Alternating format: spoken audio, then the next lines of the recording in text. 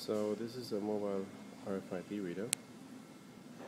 I use an ID12 RFID uh, chip and it's hooked up to a power adapter but it might as well run off a battery and you can place it wherever you want.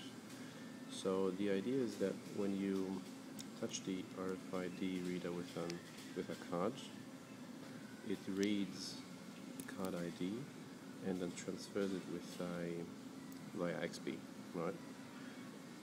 And that signal is received by a receiver XBee and forwarded to an Arduino, which you know can then do whatever it wants to with it. Here, I just output it on the console for demo purposes.